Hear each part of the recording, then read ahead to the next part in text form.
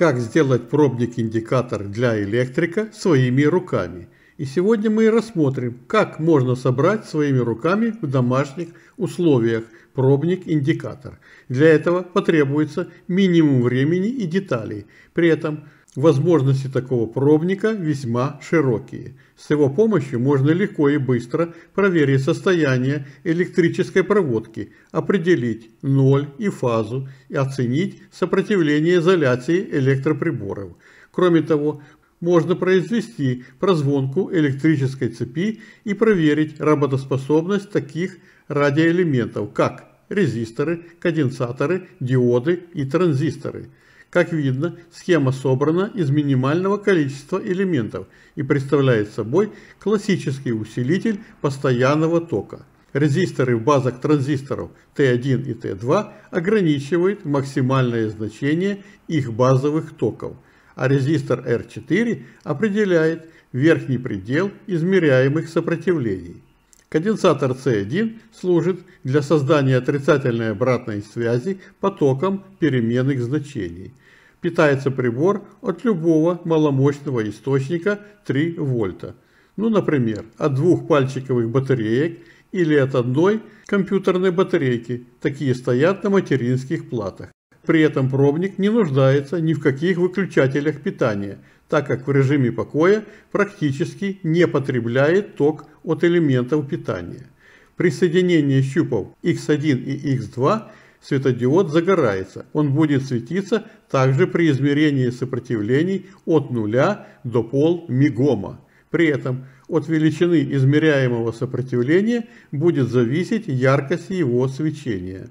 При измерении постоянного напряжения светодиод будет гореть, если плюс измеряемой цепи будет на щупе X2.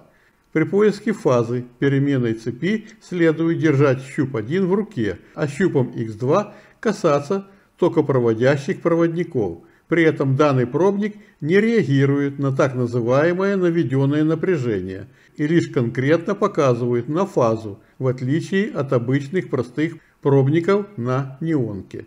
В схеме можно применять любые маломощные транзисторы структуры NPN, такие как КТ-315 или КТ-3102.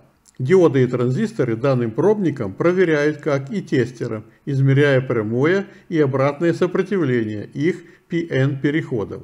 Можно проверить и исправность конденсаторов, начиная примерно от 0,1 микрофарада и более. При подключении исправного конденсатора светодиод вспыхивает на некоторое время. Если конденсатор пробит или у него большой ток утечки, то светодиод будет гореть постоянно. При оценке сопротивления изоляции действует так же, как и при измерении и проверке сопротивления резисторов.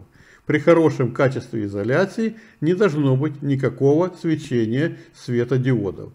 Приведенная схема проста в сборке и настройке, имеет хорошую повторяемость и не один раз была опробована на практике. Элементов питания – двухпальчиковых батареек хватает на несколько лет работы в режиме средней интенсивности пользования приборов. Мы сегодня рассмотрели очень хороший проект «Как сделать пробник-индикатор для электрика своими руками».